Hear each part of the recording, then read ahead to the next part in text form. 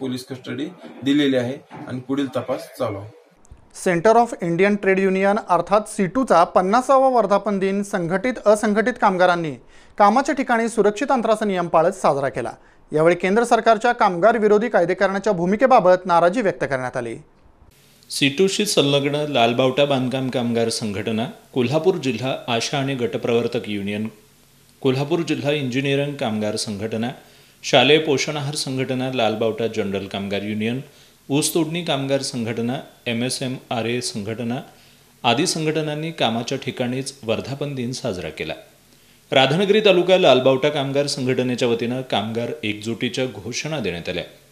यामध्ये तालुका अध्यक्ष कॉम्रेड संदीप सुतार तालुका सचिव शिवाजी कांबळे युवराज सुतार संदीप यादव अजित कांबळे संतोष कांबळे भरत सुतार अक्काताई पोवार आदींसह कामगारांनी सहभाग घेतला.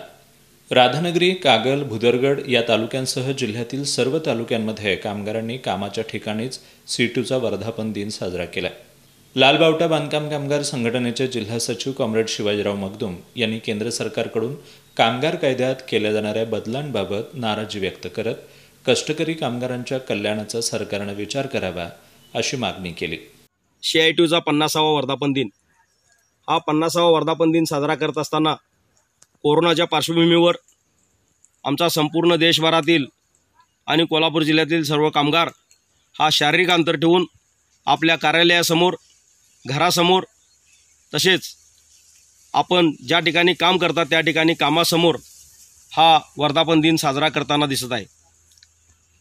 या वर्धापन दिनाच्या निमित्तानं केंद्र आणि राज्य सरकारला माझं सांगणं आहे.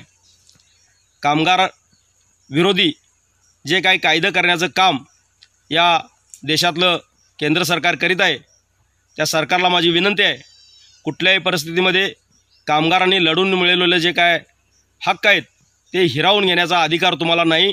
म्हणून माझी विनंती आहे की कुठल्याही परिस्थितीमध्ये कामगार विरोधी कायदे करून कामगारांच्या हिताच्या आड येऊ नका.